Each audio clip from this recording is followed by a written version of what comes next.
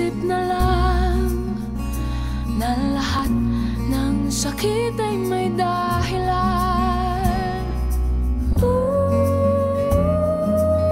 Parang may spark. Pero kuryente lang pala. Parang nag-align yung stars. Pero magkaiba pala kayo ng universe. Parang tinadhana kayo. Pero coincidence lang pala. Parang nakita mo na yung dawa. Pero she wants another one. Parang gusto ka niya. Pero gusto lang. Hindi mahal. Parang may pag-asa. Pero asa lang pala. Parang pwede na. Pero may nauna na. Parang kayo. Pero hindi.